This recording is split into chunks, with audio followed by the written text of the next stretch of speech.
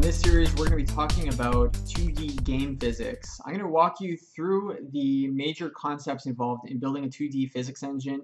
Um, so recently, I built a physics engine that's currently a work in progress, but essentially, it's a physics engine that turns your HTML document object model into a, uh, a physics simulation. It turns all your uh, elements into rigid bodies so that they can collide with each other and all of that fun stuff.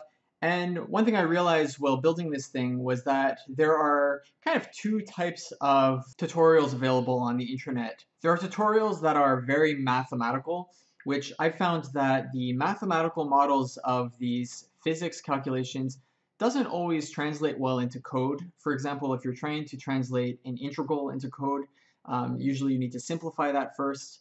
And, and so what, you what you really need when you're building a physics engine is simple models in, instead of um, precise calculations on uh, on how things behave in the real world, unless you're doing anything um, you know in, industrial or something like that. But for game physics, you need something simple. Those uh, those models that are based on um, real physics and have a real mathematical basis, they're they're good to understand but um, it's very hard to transcribe some of that stuff into code. And then the other type of resource I've found for building 2D physics engines are ones that will talk about specific algorithms. Sometimes they'll even give you code samples, which is nice. But my goal for this series is to package all of those concepts into one place so that you can get them right here. And hopefully this can be a good starting point for you when you're building your own physics engine. But the first bit of advice that I'm going to give you about building a physics engine is don't if you can, just use one of the many available physics engine that already exists. A really popular one that exists for 2D is called Box2D, and they even have a port of Box2D for JavaScript. Um, I, I, attempted to use it a while back, and for whatever reason, it was running really slow for me. Um, and uh, I, I don't know I don't know why, but um, I, I, found that any anytime like I had like hundred objects that needed to that I needed to you know resolve collisions for, and I found that for 100 objects it was quite slow. Uh, maybe I just wasn't using it right. Maybe there were optimizations that I was missing. But Box 2D is a popular one. And then if you're using any type of game building framework like uh, Unity or Unreal, you could just use the physics that are built into whatever framework you're using. So you shouldn't have to develop this if you're using one of those big frameworks. But try to use one of these libraries if possible for physics because it makes life a lot simpler. But that being said, there are a few advantages to building your own physics engine. First of all, you have a great deal of customizability on what your phys physics engine does, how it behaves. You can add specific optimizations in that uh, would be very difficult to tweak if you're using someone else's physics engine. You can build a physics engine for any platform, and it's just kind of a fun project to take on if you have the time to do it. And uh, and so I would recommend it if you're experimentative. You have to have um, you know a decent understanding of um, algebra. I don't think you really need to understand physics on a really deep level, but you do need to understand some basic concepts with force, um, inertia, vectors, dot products, and stuff like that.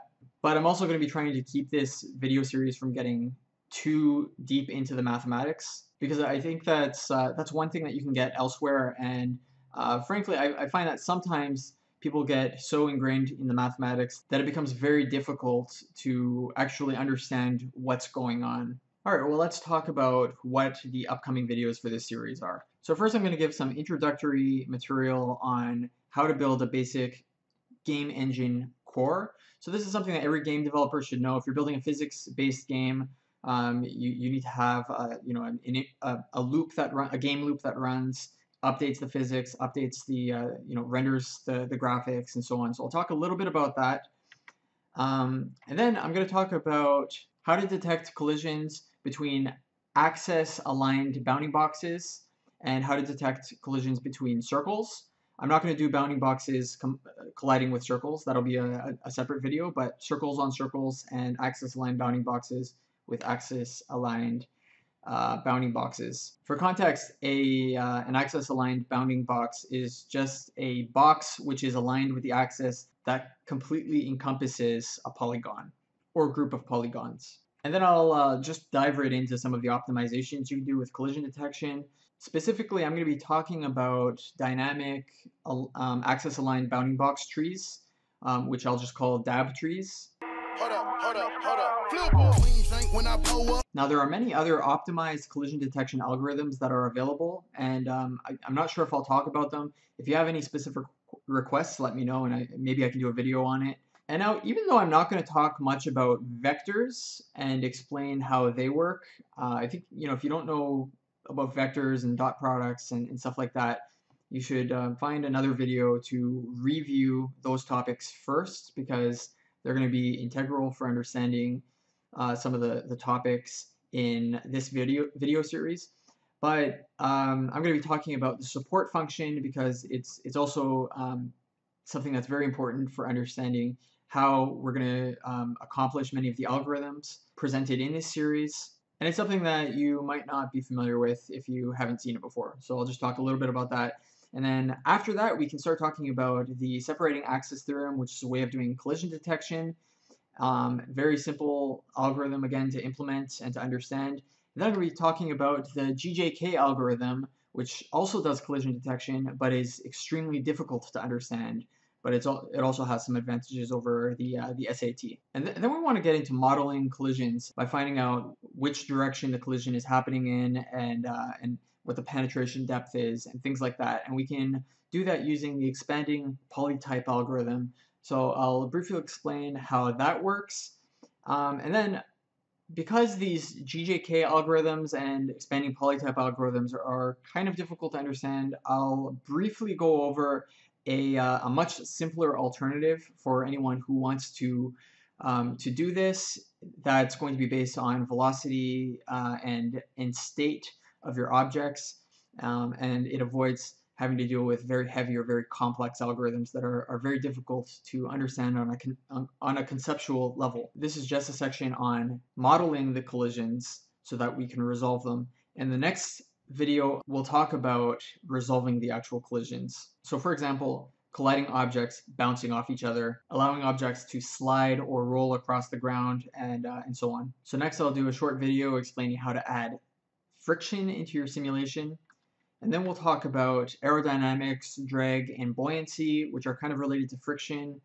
Um, these are kind of niche topics. I think most games don't really need to deal with this type of thing, but if, if you are interested in this, then um, uh, that'll be a good video for you to watch. And again, this is all in a 2D context. I'm not going to be doing 3D. But some of the concepts, I guess, uh, still apply to 3D. But uh, this will be a little different. And then I'll go on to talk about another optimization, which is talking about systems of rigid objects at rest. So this is like dealing with objects that are stacked on top of each other in little islands, and you want to optimize the, uh, the, the collision detection algorithm so that you don't have to do a million different collision detections um, uh, every single physics update. So that's pretty much it. If you like this series, then subscribe to the channel. And if you want to help support the channel, I also have a Patreon that you can um, contribute to. Check that out if, if you want to. Um, otherwise, subscribe. And I hope to see you next time. Bye.